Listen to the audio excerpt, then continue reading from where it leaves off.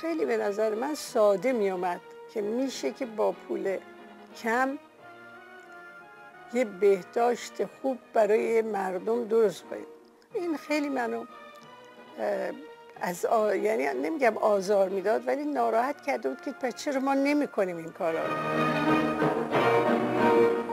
من که تنهایی نمی‌تونم ایرانو آباد کنم بسازم همه مریضا رو من باید اول مددکارا رو تربیت کنم زنها کاری نداشتن که یا طلاقشون می‌دادن یا باید بزن. تنظیم خانواده درست کردیم و این خیلی به زنها کمک کرد. بچه هاشون رو نگه می داشتیم به خودشون درس می‌دادیم و اینا دیگه پشت سر هم نمیزاییدن. من آدم خوشبختی بودم که تونستم این کارا رو بکنم.